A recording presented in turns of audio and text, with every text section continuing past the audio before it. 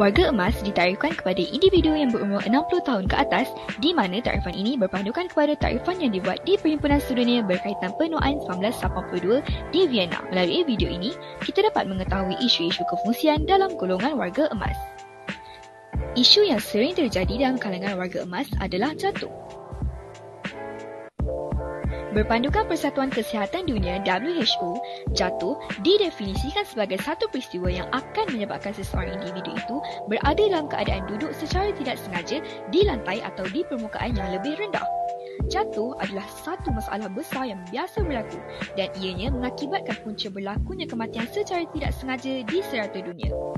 Walaupun jatuh boleh berlaku pada sesiapa sahaja, tidak kira peringkat umur dan tahap kesihatan, tetapi risiko untuk jatuh meningkat mengikut umur.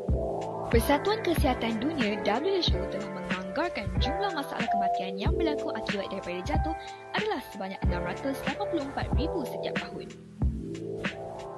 Kadar terjatuh juga bergantung kepada tempat, di mana warga emas yang berada di rumah memiliki kecenderungan untuk jatuh sebanyak 0.3 hingga 1.6% bagi setiap orang. Manakala, mereka yang berada di rumah penjagaan orang tua memiliki kecenderungan untuk jatuh daripada katil sebanyak 0.6 sehingga 3.6%. Warga emas yang menetap di pusat penjagaan pada masa panjang pula memiliki kecenderungan sebanyak 1.6% untuk jatuh daripada katil. Faktor luaran merupakan faktor yang melibatkan persekitaran yang didiami oleh individu tersebut. Antara faktor luaran ialah seperti lantai yang licin, pencahayaan yang suram dan permukaan yang tidak rata. Risiko untuk jatuh akan lebih tinggi apabila sesuatu persekitaran itu asing dan memerlukan kawalan postural badan berserta pergerakan. Akhir sekali, faktor situasi. Faktor situasi dimaksudkan dengan sebarang aktiviti yang akan meningkatkan risiko untuk berlakunya jatuh. Sebagai contoh, warga emas yang berjalan sambil bersembang, berjalan dengan terburu-buru dan terganggu dengan dua tugasan dalam satu masa. Kesan umum daripada isu jatuh ini ialah kepatahan yang serius. Kesan ini dapat dilihat melalui tiga aspek di mana di antara ketiga-tiganya memiliki hubung kait yang rapat.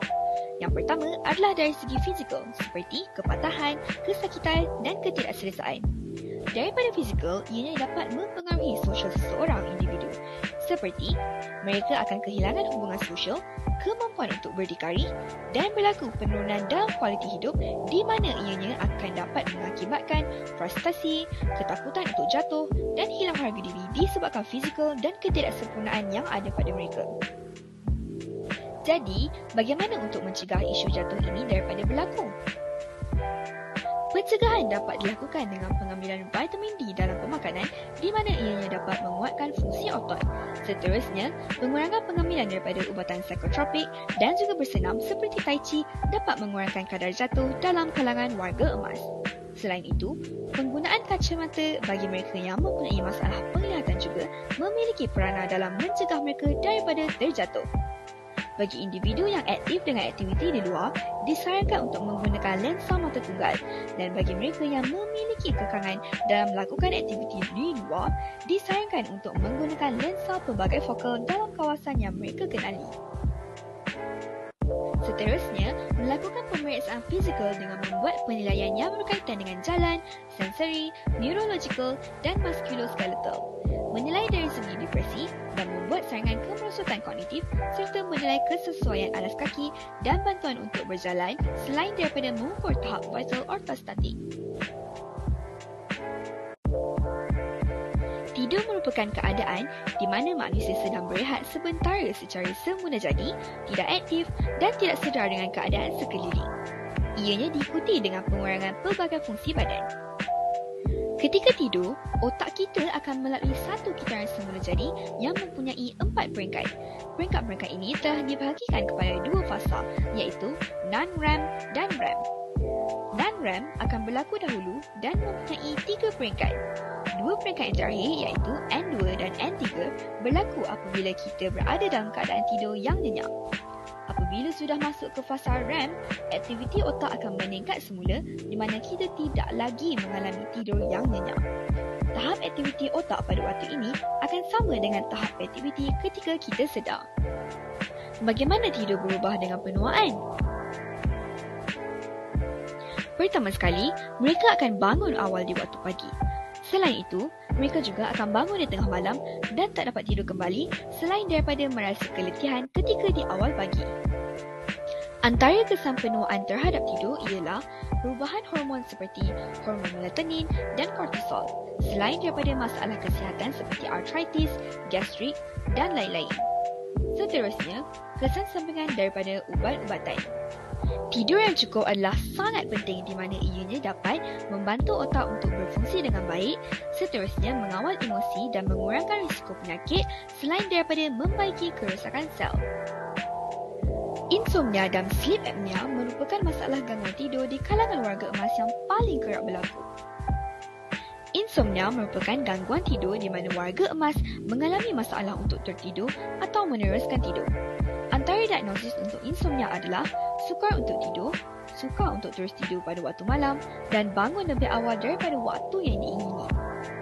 Kesan-kesan insomnia terhadap warga emas ialah risiko mendapat kemurungan dan keresahan yang berlebihan, Seterusnya, kesan terhadap fungsi kognitif dan meningkatkan risiko untuk jatuh selain daripada risiko mendapat penyakit kronik dan membawa kepada risiko kematian. Sleep apnea pula merupakan gangguan tidur yang berkaitan dengan pernafasan di mana pernafasan akan menjadi sukar ataupun boleh berhenti sehingga seminit pada satu masa. Ianya terbahagi kepada tiga jenis iaitu Obstructive Sleep Apnea, OSA, Central Sleep Apnea, CSA dan juga mixed apnea. Antara simptom-simptom yang dikesan daripada penghidap masalah sleep apnea adalah gangguan pernafasan, mengantuk berlebihan ketika waktu siang, sakit kepala di waktu pagi dan berdengkur yang kuat. Terdapat juga masalah gangguan tidur yang lain yang sering dihadapi oleh warga emas seperti Restless Leg Syndrome RLS, Periodic Limb Movement Disorder PLMD dan REM Behavior Disorder RBD. Apakah yang dimaksudkan dengan penyesuaian dalam penuaan? Berdasarkan Kasley, ianya menyifatkan sebagai salah satu cara penyesuaian yang dilakukan oleh warga emas dengan mengadaptasikan faktor di sekeliling bagi memudahkan kehidupan seharian mereka demi mencapai kesejahteraan hidup. Terdapat dua model teori yang menjelaskan tentang penyesuaian dalam fasa penuaan iaitu teori aktiviti dan juga teori pengasingan. Perubahan dalam struktur keluarga dapat didefinisikan sebagai perubahan dalam bilangan ahli keluarga di mana ianya bermula dengan isi rumah yang hanya terdiri daripada kedua ibu bapa kemudian berkembang besar menjadi sebuah institusi keluarga. Antara faktor perubahan dalam struktur keluarga adalah disebabkan oleh kemajuan dalam perubatan dan akses kepada kawalan kelahiran, peluang kerjaya bagi wanita, pengambilan anak angkat dan kematian anak atau pasangan. Terdapat juga kesan perubahan keluarga terhadap warga emas seperti pengasingan sosial, kemerosotan dari segi kesihatan dan juga penjagaan diri yang tidak terurus. Apakah yang dimaksudkan dengan generasi sandwich? Ianya merujuk kepada individu pertengahan umur dalam lingkungan usia 40-an dan 50-an yang tertekan untuk menyokong kedua-dua ibu bapa yang semakin tua dan anak-anak yang sedang membesar. Antara impak yang dapat dilihat kepada generasi sandwich adalah mereka menghadapi masalah kewangan, suka untuk mengimbangi kehidupan seharian, penjaga mengalami masalah burnout dan mengalami masalah dalam mengimbangi kerja sepenuh masa. Seterusnya, penyesuaian tanggungjawab dalam generasi sandwich merupakan tolak ansur antara adik-beradik dalam menguruskan penjagaan orang tua, menyediakan sumber kewangan yang mencukupi untuk penjagaan warga emas dan akhir sekali, mendapatkan bantuan fizikal dan mental bagi generasi kedua dalam keluarga. Widowhood atau lebih dikenali sebagai janda atau duda dalam masyarakat Melayu merupakan keadaan di mana seseorang kehilangan pasangan kerana kematian. Proses ketika fasa menjadi janda adalah kesedihan, penerimaan sepenuhnya dan kemajuan. Di mana ketika fasa kesedihan terdapat beberapa peringkat kecil yang bakal dihadapi oleh para janda atau para duda seperti peringkat penafian, kemarahan, rundingan pada diri sendiri, kemurungan dan juga penerimaan awal. Terdapat beberapa kesan menjadi janda pada warga emas seperti mempunyai masalah ekonomi dari segi kewangan dan juga mempunyai masalah kesihatan seperti kemurungan dan juga skizofrenia. Antara penyesuaian diri ketika fasa janda adalah dengan mendapatkan sokongan daripada anak-anak, rakan dan juga saudara mara. Seterusnya melibatkan diri dengan melakukan aktiviti yang digemari dan juga menyertai aktiviti keagamaan.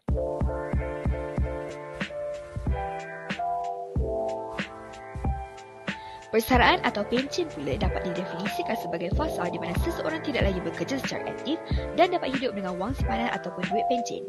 Ianya biasa terjadi dalam jangka umur 55 hingga 60 tahun. Di Malaysia, kadar umur bagi pencen ialah 60 tahun. Terdapat beberapa faktor yang dapat mempengaruhi persaraan seperti status sosioekonomik, sumber fizikal, sumber sosial, karakteristik pekerjaan, persediaan mental dan juga persediaan persaraan.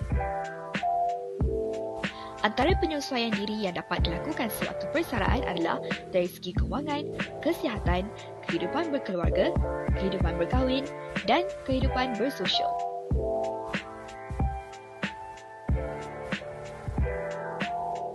Kematian pula dapat didefinisikan sebagai satu perkara yang berlaku disebabkan oleh kondisi kesihatan dan kadar kematian juga biasa dinyatakan dalam bentuk nombor di mana kadar kematian yang berpunca daripada masalah kesihatan pada jumlah populasi semasa. Terdapat pelbagai faktor yang boleh mempengaruhi kematian seperti faktor usia, jantina dan juga penyakit.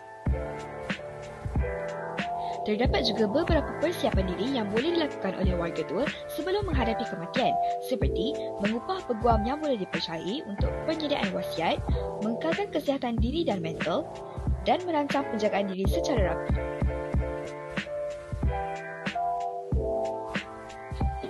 Pengurangan kefungsian boleh ditarifkan apabila orang tua tidak mahu melakukan aktiviti harian seperti penjagaan diri. Perkara ini boleh berlaku disebabkan oleh masalah kesihatan dan juga faktor luaran seperti sokongan sosial, sokongan kewangan dan juga persekitaran. Episod berkaitan dengan disability hanya sekejap akan tetapi kesan sampingannya menjadi semakin meningkat.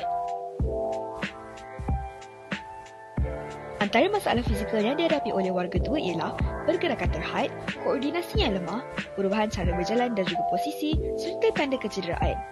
Selain itu, masalah kognitif yang dihadapi oleh warga emas pula ialah masalah ingatan, kekeliruan, pertuturan yang tidak betul serta pengurusan rumah yang lemah.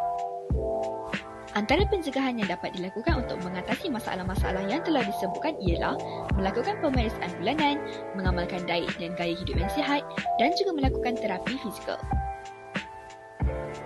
Pengurangan pendapatan dapat dikategorikan apabila pendapatan tahunan seseorang warga emas itu kurang daripada RM60,000 per tahun.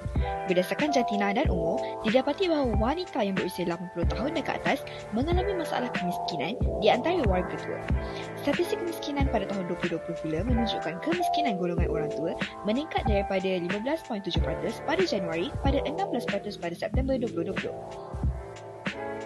Antara faktor yang menyebabkan pengurangan pendapatan warga emas ialah isu kesihatan, hutang dan juga kos sara hidup yang tinggi. Beberapa pencegahan yang boleh dilakukan untuk memenuhi perkara tersebut ialah insurans, simpanan dan juga program kerajaan yang berkaitan dengan kesihatan warga tua. Beberapa bantuan yang disediakan oleh kerajaan Malaysia untuk warga emas ialah bantuan kebajikan warga emas, inisiatif tidak langsung serta bantuan khas kewangan bersasar. Ageism merupakan tanggapan ataupun stigma masyarakat terhadap golongan warga emas. Ageism juga merupakan layanan yang tidak setimpal ke atas seseorang kerana usianya. Bentuk-bentuk ageism atau prasangka buruk yang kerap terjadi kepada warga emas ialah kelengkapan perumahan yang tidak mesra warga emas, tiada rem untuk kursi roda dan juga kurang atau tiada peluang pekerjaan yang boleh menjurus ke arah ketidakadilan dalam pekerjaan menyebabkan limitasi dan ketidakbolehan untuk melibatkan diri dalam pekerjaan atau aktiviti harian secara amnya. Kesan ageism dan prasangka buruk ataupun prejudice ini menyebabkan warga emas akan terabai, dipinggirkan dan tersisih dalam masyarakat mereka sendiri serta menjejaskan kualiti kehidupan mereka terutama daripada aspek emosi dan perasaan warga emas tersebut.